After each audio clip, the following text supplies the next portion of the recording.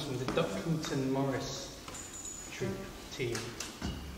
Um, and appear, as, as with so many of these tunes, it appears in various formations in different sources.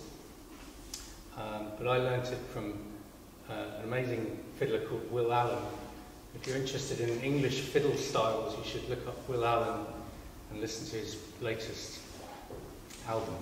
So this is called Lollipop Man, and it's going into a, uh, a tune called Paul's Waltz, and we don't, have, we don't know where it comes from. Anna learnt it somewhere in Vienna, and no one knows. But it's called, so someone called Paul, apparently.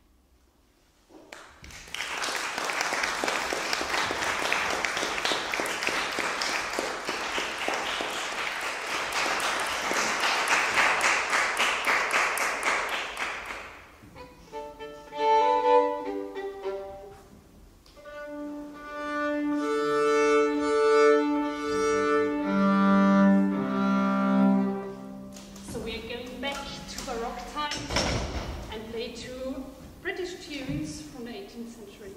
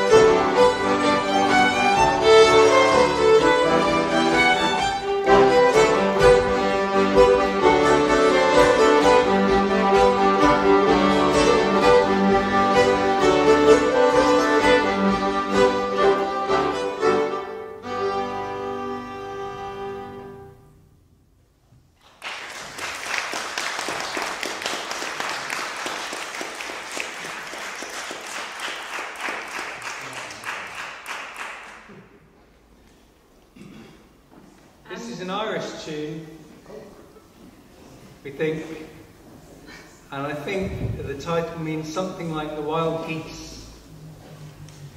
It does. It does it? Yeah, it, it does. it means the wild geese. So the next two are two of my very favorite tunes. And the second one I found in a book from southern Germany. And the title does indeed sound a bit like horse, but it doesn't mean horse at all in a old language. So, yeah, sorry, there was no um, really good story about the horse, but maybe we will find it. Because when I was coming up with a title for this concert, I thought Rossen meant horse. Yeah. Is horses. But apparently it doesn't.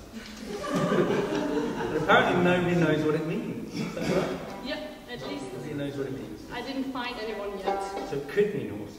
Yeah. Just saying. Oh yeah, maybe I want to mention, sorry, here the, the next tune we are playing. So I'm hosting in Vienna once a month. We get together and play old tunes from the 18th century. And this very tune we always play as the last tune before we go to bed. I hope you will not fall asleep now, but it's a very calming, meditating tune, and I hope you will enjoy it.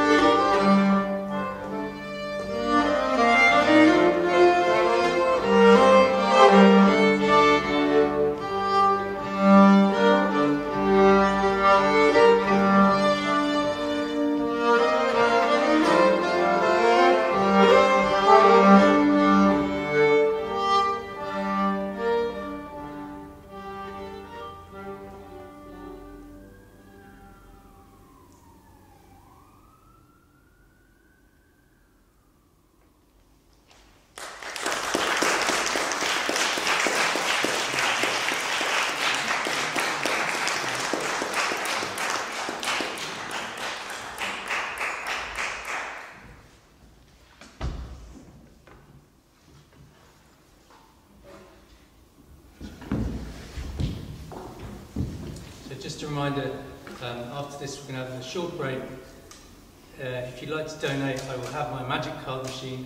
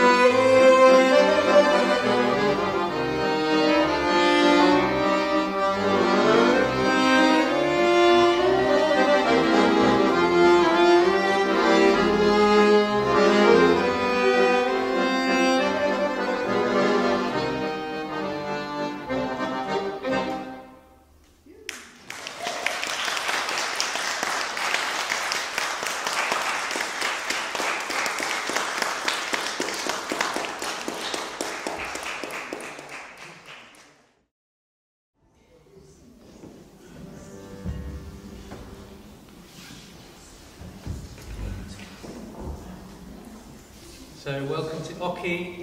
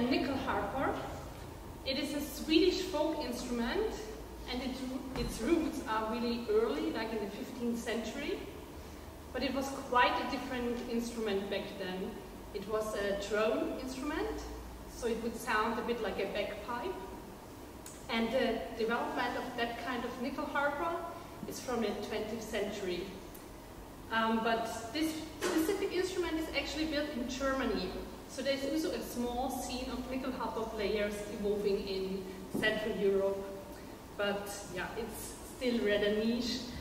And um, what makes the sound so fantastic are the sympathetic strings. So they would vibrate if you play um, a note. So there are 12, um, 12 sympathetic strings, and yeah, for each half tone. Um, yeah, and you would play it just like on a piano keyboard, like. Put down the buttons here, which will shorten the string with a tangent. Yeah, what else to tell you? Yeah, if there are any more questions about nyckelharpa, I'm very happy to answer them after the concert. And I guess, yeah, next we are playing a Swedish tune. So something that comes from the land of nyckelharpa. Thank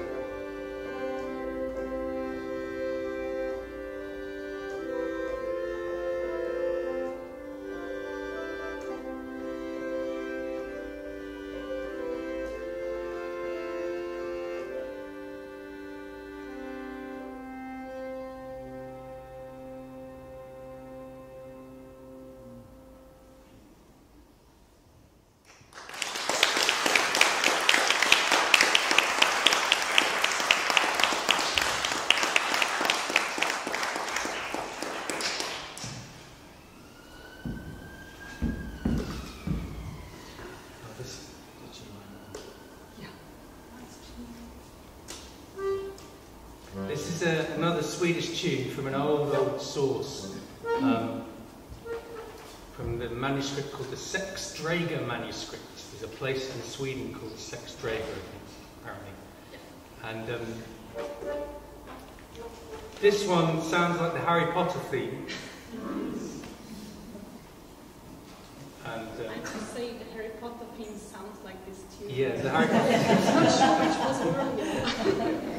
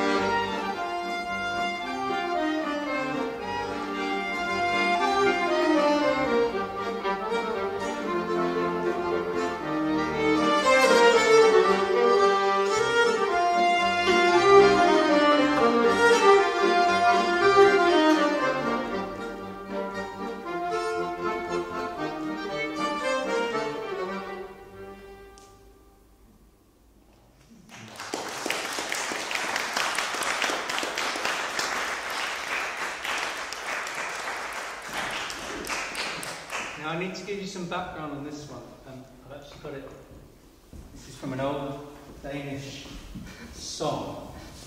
I'm just going, to, give you the first three verses. I'm not going to sing it. I'm gonna I'm gonna um sing it.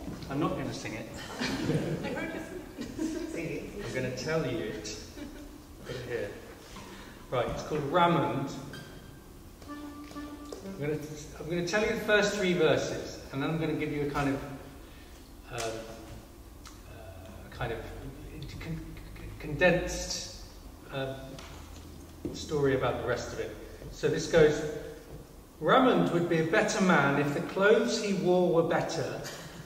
the Queen, the, full stop. The Queen gifted him clothes at once made of Tow, bast, and leather. I'm not sure what tow and bast are. Maybe someone else does. This is not what I want, said Ramund. This is not what I like, said Ramund the young. Verse 2. Bast and tow is worse than rye. Give that to your servants instead. The mistress gifted him different clothes made of silk and fine velvet. Now this I really like, said Ramund. These are clothes I really like, said Ramund the Young. Ramond went inside the hall, and to the best tailor. Listen, you tailor, honourable and noble, will you make clothes for Ramond? Why shouldn't I? asked the tailor. That's a good decision, said Ramund the Young. Now, then he it, go, it goes a bit weird. He, he, he starts killing people. So he goes and finds this person. He says, Do you want to fight? I'm going to kill you. And he finds seven people and he kills them all. Right? And then he finds an, another person and says, um, You have a bad, terrible smile. I don't like your smile. I'm going to kill you.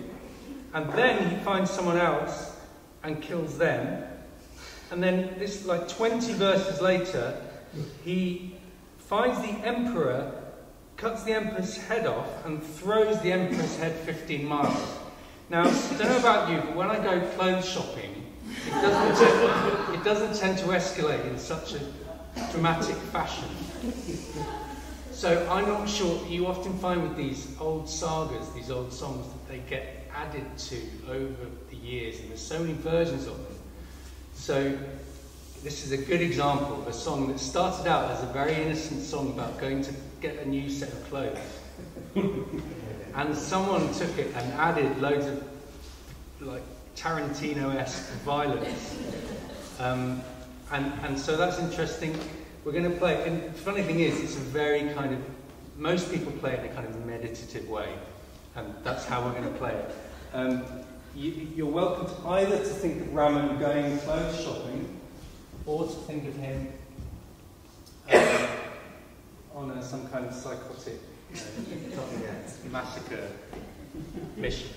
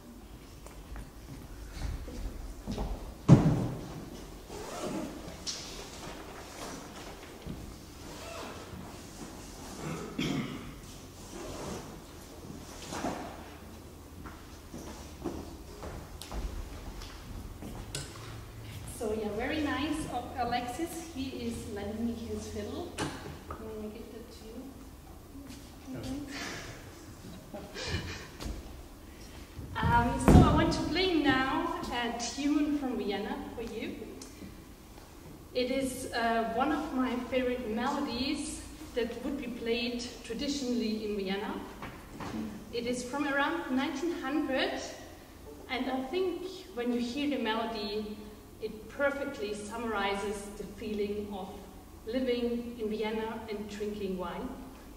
Is that's something we really like. We like drinking wine in the wine mountains.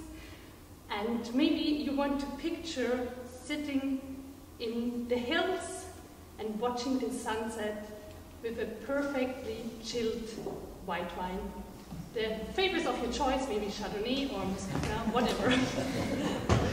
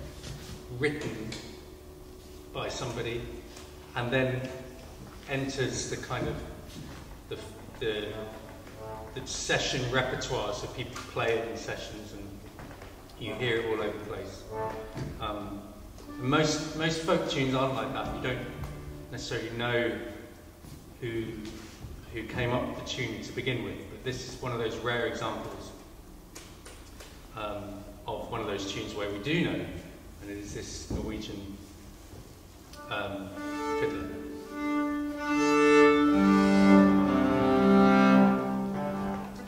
And um, thank you very much for coming out. Thank you to Oki for playing with us.